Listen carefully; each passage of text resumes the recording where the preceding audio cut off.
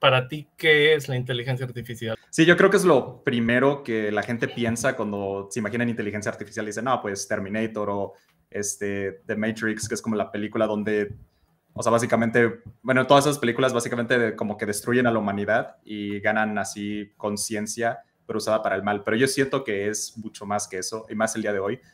Ah, hoy en día la inteligencia artificial tiene que ver más con algoritmos, más con este tipo técnicas como machine learning, deep learning, que básicamente este, hacen como tareas a un ritmo que la computadora aprende por sí sola. O sea, ya no necesitas como decirle, oye, vamos a hacer X o Y, o sea, sino la computadora aprende en base a datos y puede ser usada para muchas cosas como reconocimiento de imágenes,